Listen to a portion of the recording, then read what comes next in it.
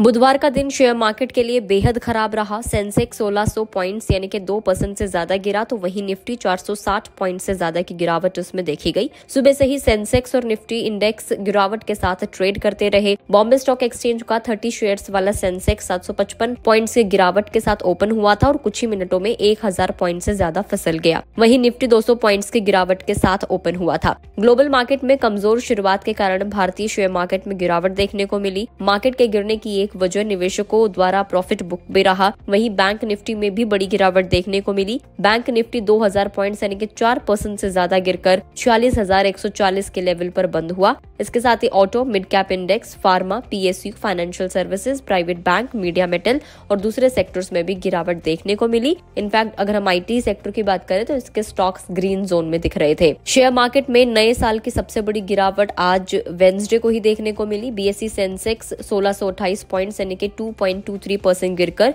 इकहत्तर हज़ार पाँच सौ के लेवल पर क्लोज हुआ है। बीएससी के टॉप 30 में से 23 शेयर्स लाल निशान पर थे, जबकि सिर्फ़ सात शेयर्स ही ग्रीन जोन में बंद हुए। HDFC bank Tata steel Kotak Mahindra जैसे शेयर्स सबसे ज़्यादा गिरे। निफ्टी 460.35 पॉइंट्स यानी कि 2.09 परसेंट टूटकर इक्कीस हज़ार पाँच सौ इकहत्तर दशमलव नौ पाँच के लेवल पर बंद हुआ।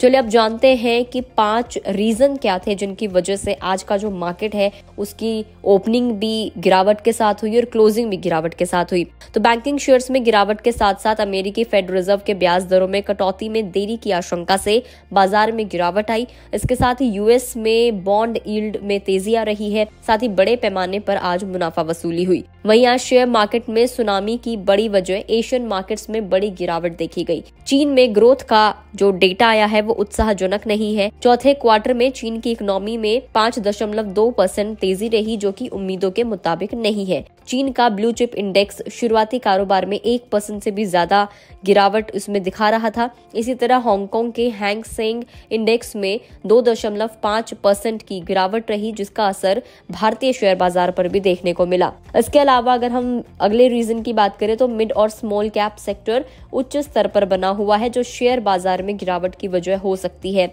इसके अलावा जो एक बड़ा रीजन माना जा रहा है, वो है एचडीएफसी बैंक। हाँ आज का कल्प्रेट एच बैंक को माना जा सकता है, क्योंकि देश के सबसे बड़े बैंक स्टॉक एचडीएफसी में आठ परसेंट से ज़्यादा गिरावट देखने को मिली, जिस कारण प्राइवेट बैंक सेक्टर लाल निशान पर था।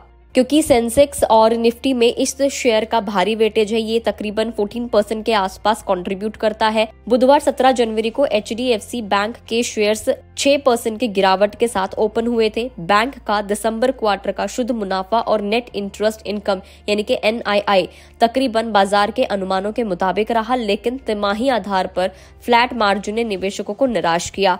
फ्लैट मार्जिन से यह संदेश गया कि एक्स्ट्रा कैपिटल का बैंक को फ़ायदा होता नहीं दिखाई दे रहा है। तो इसके जो रिजल्ट्स थे, ये एक बड़ा रीजन रहे हैं, जिसकी वजह से बैंक निफ्टी में एक बड़ी गिरावट देखने को मिली और इसका पूरा असर शेयर मार्केट पर पड़ा। इसके अलावा डॉलर एक महीने के उच्च स्तर पर पहुँच गया है तो ऐसे में कमोडिटी मार्केट में क्रूड ऑयल समेत दूसरी चीज़ों की कीमतें महँगी हो गई, जिसका असर आयात पर हो रहा है। और अगर हम अगले रीजन की बात करें तो शेयर मार्केट में गिरने के साथ ही बड़े लेवल पर प्रॉफिट बुक भी हुआ है, और ऐसे में बड़ी कंपनियों के शेयर्स में गिरावट हुई है।